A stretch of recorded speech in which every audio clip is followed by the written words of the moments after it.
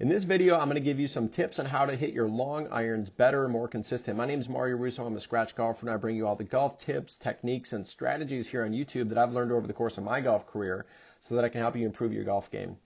When I refer to your longer irons, I'm referring to your 3, 4, 5, and even 6 iron.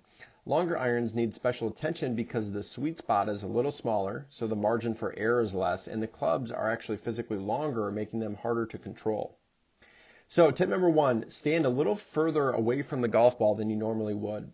When I say a little further, I only mean a couple inches, so don't take me too literally. It doesn't have to be exactly a couple inches, but just far enough away to give yourself a little extra space so that you're comfortable standing over the ball since your longer irons are actually physically longer than your shorter irons. You can see on the screen that my hands are slightly extended out a bit more than normal. I'm slightly reaching for the ball. However, I'm still in a position that allows my hands to hang naturally over the ball and the weight is evenly distributed on the heels and the arches of my feet. So you want your weight on the heels and the arches of your feet at address, not on your toes.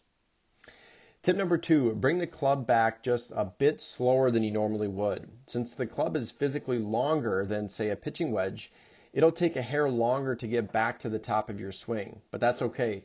This gives you a little, little bit of time to get the club around your body and still keep your tempo. You'll notice that I draw the club back just a little longer than I would with a shorter iron when you watch the video in real time.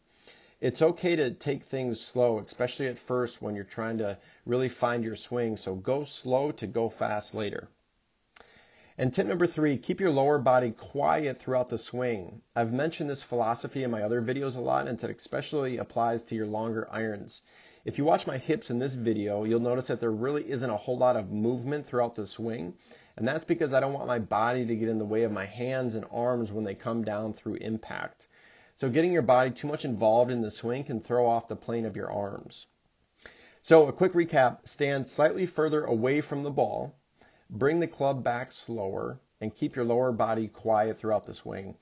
If you like this video, be sure to subscribe to my channel so you can get instant notifications when I come out with instructional golf training content.